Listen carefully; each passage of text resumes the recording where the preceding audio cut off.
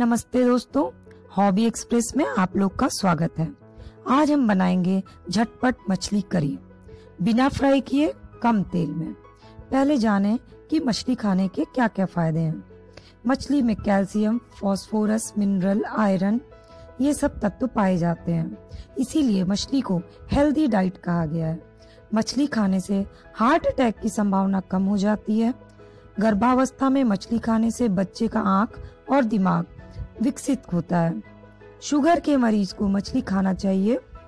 Arthritis में यह बहुत फ़ायदेमंद है। इसीलिए मछली को हफ़्ते में दो दिन अपने भोजन में शामिल करें।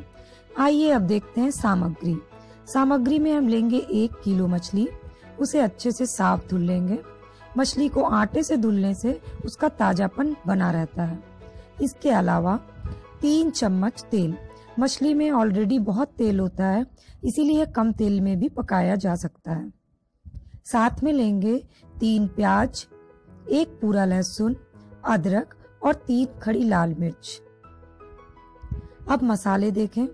मसालों में हम लेंगे हल्दी, आधा चम्मच, मिर्चा, एक चम्मच, गरम मसाला, डेढ़ चम्मच, धनिया पाउडर, दो चम्मच और नमक स्वादानुसार, कस्तूरी मेथी और तेज पत्ता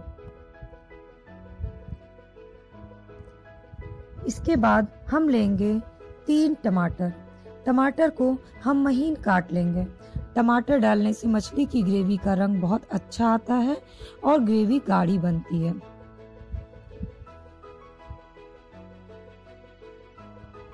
आयुर्वेद के, की किताब में, मसालों में सारे जड़ी बूटी वाले तत्व पाए जाते हैं। इसीलिए मसालों का प्रयोग अपने खाने में अवश्य करें। अब कढ़ाई गरम करके तीन चम्मच तेल डालेंगे। तेल गरम हो जाने पर उसमें तेज पत्ता और कस्तूरी मेथी डालेंगे। तेज पत्ता और कस्तूरी मेथी जब कड़कने लगे तो उसमें हम एक मिक्सी का जार लेंगे। मिक्सी के जार में तीन कटे हुए प्याज, एक पूरा लहसुन छिला हुआ और अदरक, साथ में तीन खड़ी लाल मिर्च को दरदरा पीसेंगे।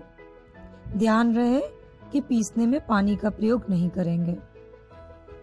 पानी के प्रयोग करने से प्याज में महक आ जाती है। दरदरा पीसने से प्याज का फ्लेवर बना रहता है। इसीलिए मछली में जब भी हम प्याज, लहसुन, अदरक का प्रयोग करेंगे तो उसे दरदरा पीस के करेंगे। पीसने के बाद वो कुछ इस प्रकार का दिखेगा। अब तेल गरम हो चुका है, तेज पत्ता कड़क रहा है तो उसमें प्याज, लहसुन, अदरक और लाल मिर्च कूटा हुआ, उसका पेस्ट डालेंगे और उसको भूनना शुरू करेंगे।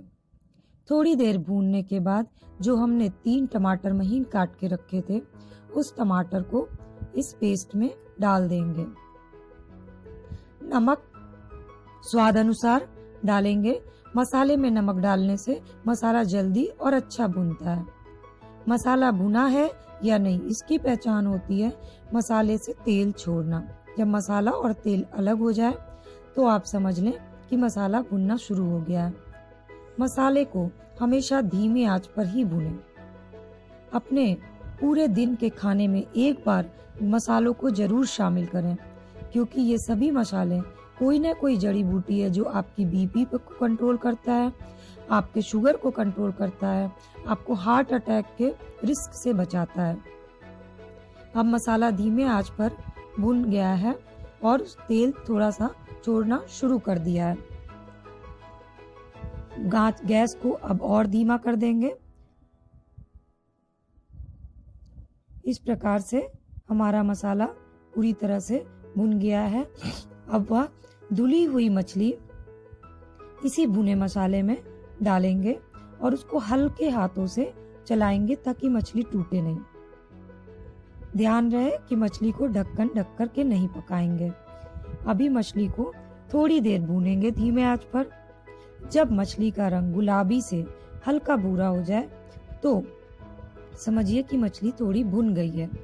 अब इसमें आप अपने अनुसार ग्रेवी के लिए पानी डाल सकते हैं। अगर आपको पतली ग्रेवी पसंद है तो आप ज़्यादा पानी डालेंगे। अगर आपको गाढ़ी ग्रेवी पसंद है तो आप कम पानी डालेंगे। मैंने अंदाजन इसमें दो कटोरी पानी डाला है। मछली में आठ से नौ उबाल आने देंगे और मछली पककर तैयार हो जाएगी। ऊपर से धनिया पत्ती डालकर इसकी गार्निशिंग करेंगे।